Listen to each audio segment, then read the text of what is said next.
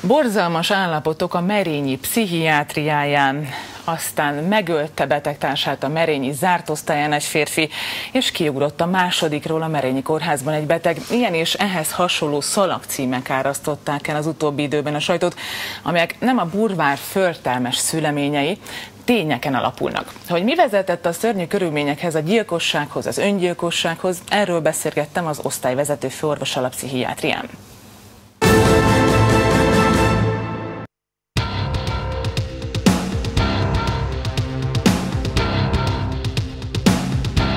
Sajnos az utóbbi hetekben meglehetősen nagy média nyilvánosságot kapott a, a pszichiátriai osztály. Nem feltétlenül jókat. Hát azt gondolom, hogy ez a személyzetet eléggé megviselte. Én, én azt gondolom, hogy sok szempontból azért ez e, igazságtalan is volt, tehát hogy én azt gondolom, hogy a kollégáim azok lelkismeretes és, és nehéz munkát végeznek. Ez egyáltalán nem jelent meg a, a médiában. Még februárban az ombudsman munkatársai bejelentés nélküli ellenőrzést tartottak a Merényi Gusztáv kórház pszichiátriáján. Ezek a fotók akkor készültek. A jelentésben leírták, hogy az egyik WC-ből például ömlött a szennyvíz. A mennyezet több helyen is beázott, a WC-kben és a fürdőhelyiségekben alapvető tisztálkodási szerek nem voltak, az egyik beteget pedig a radiátorhoz kötötték. Az ombudsman szerint a zárt osztályon talált körülmények embertelenek, megalázóak a legproblémásabb, legkritikusabb részeit mutatták az osztálynak, tehát hogy nem az egész osztály néz ki úgy, hanem néhány helyen van beázás. Szennyvíztől ázott az egész részleg, meg hogy nem tudom, használt WC papír volt, ugye ezeket lehetett olvasni, nem volt koadukált a fürdőszobám, nem voltak függönyök, ez, ez mennyire, mennyire hétköznapi, vagy mennyire mindennapi? Hát itt sem látunk most szennyvízt. Igazából én, amióta én három éve dolgozom itt, én egyetlen egy alkalommal nem tapasztaltam, hogy szennyvíz folyt volna a folyosón, de el tudom képzelni. Tehát nyilván, hogyha eldugul a, a WC, akkor a szennyvíz az valamerre kifolyik. A körülmények nem olyanok, mint amilyenek kellett volna lenni, folyamatos bejázások voltak. Ebből mi igaz? Hát azt nem tudom, mennyire derült ki a jelentésből, de hogy reggel 5 órakor jött ide az ombudsmani hivatalnak a csapata, itt a kórházban éjszaka nincsen takarító személyzet, hanem nappal van, tehát mhm. éjszaka az ápolóknak kell a, a rendkívüli takarítási igényeket ellátni. Uh-huh. Ők pont akkor érkeztek, amikor a 6 órakor kezd a takarító műszak, és akkor takarították volna végig a, a folyosót.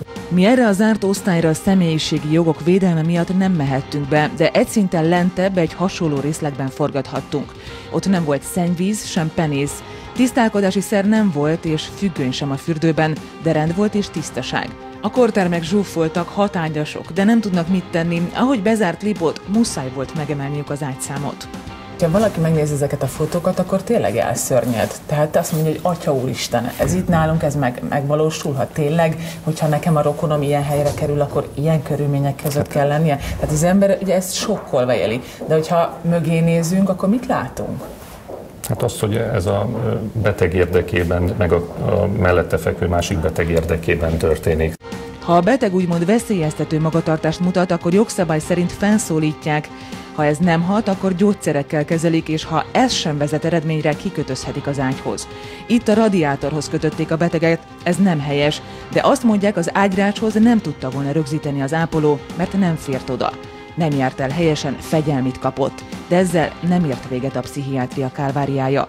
Az egyik esetben az egyik egy beteg bántalmazta a betegtársát, aki ennek következtében meghalt.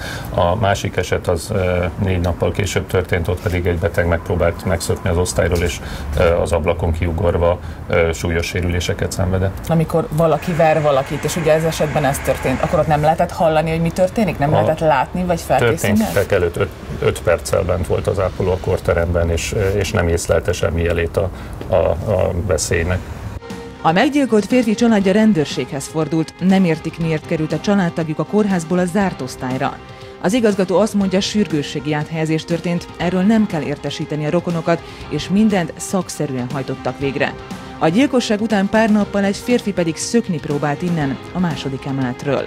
Ha megnézi az épületet, akkor most már a felső rész is bevarázsozza, de ez két méter magasság fölött volt, tehát hogy uh-huh. igazából azt gondolom, hogy erre racionálisan nem számítottunk, hogy valaki ilyen magasságban egy bukóablak kon egy üvegtábla fölött kibír menni. Mennyire lesz nehéz visszanyerni önöknek a betegek bizalmát, illetve azoknak a bizalmát, akik meghallják azt, hogy ide kell hozni a szeretteiket? Hát azt gondolom, hogy ez egy hosszú folyamat lesz, és nem lesz egyszerű. Tehát, hogy igazából egy osztálynak a, a presztízsét, renomiát lerombolni, az egy-két hét alatt megoldható, visszanyerni, tehát a bizalmat visszaépíteni, az egy sokkal hosszabb folyamat lesz. Tavaly egyébként már felmerült, hogy bezárják az osztályt, de nem tudták, mert Onodi Szűcs Zoltán azt mondta, már alig van pszichiátriai ellátóhely az országban, új építésére pedig nincs pénz. 40 milliót költenek most a felújításra.